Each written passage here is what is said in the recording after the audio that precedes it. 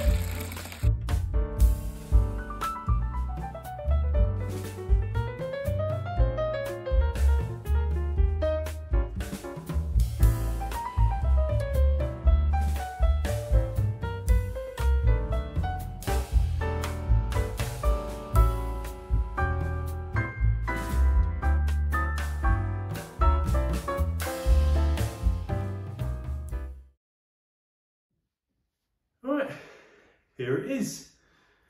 So um, this was what I intended to be my Indian Pale Lager stroke uh, cold IPA.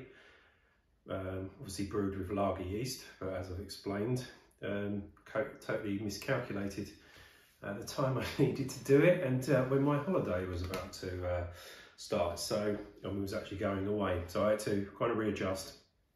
I changed it up swapped the yeast out for um, an ale yeast and um, fermented it much more straightforwardly, that's the right word.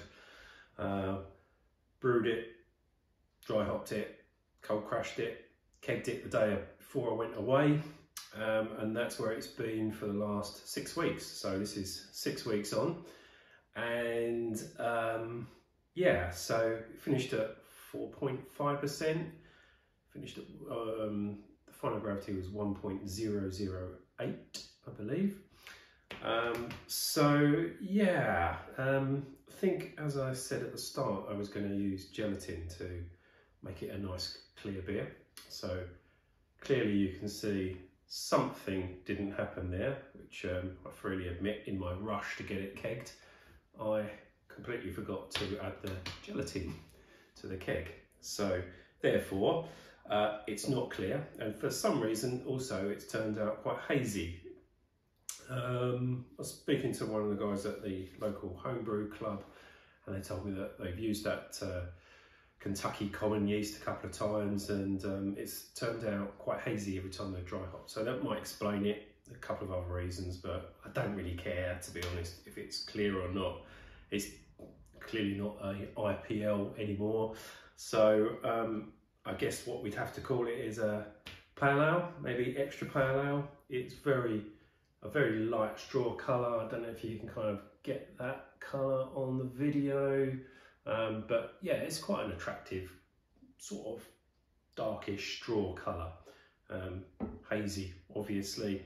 Um, I think, I can't remember what carbonation was, but it's not highly carbed. It's reasonably low carbonation, but it has got some carb. Can't see it through the opaqueness of the beer itself, but it's uh, has got some carbonation. It's been in the fridge, so it's quite cold. So there it is. It did have a head when I poured it. It's um, gone a little bit, but yeah, it's got it's got a reasonable head on it.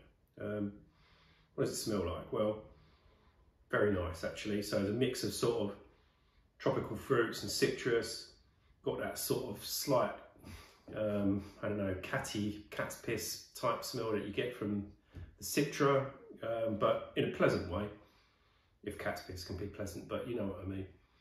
Um, there's that sort of white winey type aroma you get from the Nelson, um, but it smells really nice actually. Just makes you want to dive in, so mm, let's give it a go.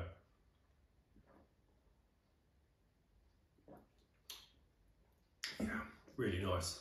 Um, it's despite its looks, it does actually taste quite crisp. Um, so as I said, I'd used that yeast before on something, can't remember what it was now, and it did do quite a good job. It's a bit like that uh, California common yeast, Mangrove Jacks one, I think. It's like kind of hybrid lager ale yeast sort of thing. It does give you a sort of nice crisp beer, so it is quite nice and crisp. Um, there's a bit of sweetness coming from the malt. It's a lovely taste, sort of citrusy, tropical taste to back up those aromas. Um, and as a sort of, there's quite a nice assertive bitterness that sort of stays on the back of your palate for a little bit, but in a, in a pleasant way again.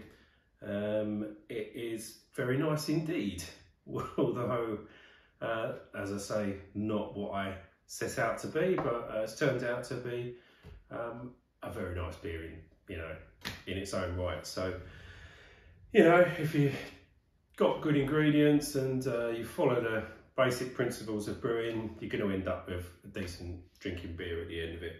If, yeah, maybe not how you intended it, but still get good beer, which this is. So, very drinkable. I'm not disappointed that I've got a keg full of this to drink. Um, so I'm going to be very much enjoying this extra pale ale, I guess you'd call it, or uh, yeah, something like that. I don't know, who cares? But it's a nice fruity, citrusy ale. Mm. So um, yeah, I'm chalking it up as a success. I'll eventually get around to brewing a proper IPL. I've still got the yeast in the fridge, so uh, yeah, uh, watch this space for that one. But uh, hop combination, I've got to say, absolutely spot on. I'll definitely be using this hop com combo again. I think I got this from the, there's a Facebook page called Cheeky Peak, which I think is a um, Australian uh, homebrew supplier. They got loads of recipes on their Facebook page. And um, yeah, I got I, I, got the hop combo from that. So uh, that's where the inspiration from the hop combo came from. So um, yeah, definitely be using that again. And yeah, I'd, probably brew it again as it is, to be honest. It's a, it's a nice beer. Be great in the summer. Um, so yeah, I'm happy with that. So cheers.